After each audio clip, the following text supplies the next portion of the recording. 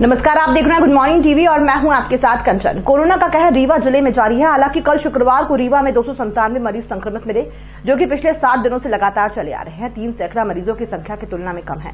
इसके बावजूद समूचे ज़िले में हालात चिंताजनक है क्योंकि हर तीसरे घर में सर्दी, जुकाम, बुखार से पीड़ित मरीज़ मौजूद है। जानकारियों का कहना है कि बहुत सारे लोग जाँच कराने नहीं पहुँच रहे हैं और घर में ही दवाई ले रहे हैं।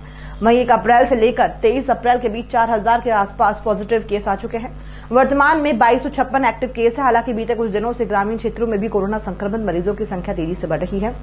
वहीं संक्रमित और संदिग्ध मरीजों की मृत्यु का आंकड़ा भी बढ़ रहा है आपको बता दें कि विगत एक अप्रैल से कोरोना संक्रमित मरीजों के बढ़ने का सिलसिला बहुत तेज गति से जारी है एक अप्रैल को 20 मरीज़ संक्रमित मिले थे वहीं दो अप्रैल को 21, 3 अप्रैल को उनतीस चार अप्रैल को बयालीस पाँच अप्रैल को संतावन छह अप्रैल को साठ सात अप्रैल को तिरपन आठ अप्रैल को बयासी नौ अप्रैल को तिरासी दस अप्रैल को पंचानवे ग्यारह अप्रैल को एक सौ सात बारह अप्रैल को एक सौ छियासठ तेरह अप्रैल को दो सौ ग्यारह चौदह अप्रैल को दो सौ चार पंद्रह अप्रैल को एक सौ छब्बीस सोलह अप्रैल को तीन सौ पंद्रह, सत्रह अप्रैल को तीन सौ छियालीस, अठारह अप्रैल को तीन सौ उनचास, उन्नीस अप्रैल को तीन सौ पैंतीस, बीस अप्रैल को तीन सौ तैतीस, इक्कीस अप्रैल को तीन सौ तिरालीस, बाईस अप्रैल को तीन सौ सत्ताईस और तेईस अप्रैल को दो कोरोना संक्रमण मिले हैं।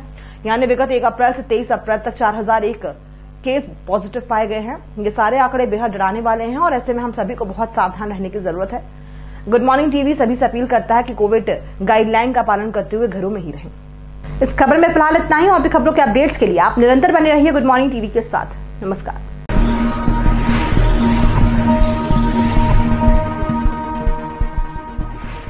श्री शक्ति गृह उद्योग उतैली सतना। हमारा लक्ष्य हर बेरोजगार को रोज़गार उपलब्ध कराना है। हमारे यहाँ करीब 200 प्रकार की छोटी बड़ी मशीनें उपलब्ध हैं। किसी भी जानकारी के लिए आज ही कॉल करें। Seven zero two four one five nine five double nine ISO certified Shri Shakti Grah Udyog Yadav धर्म कांटा के पीछे उतैरी सतना मध्य प्रदेश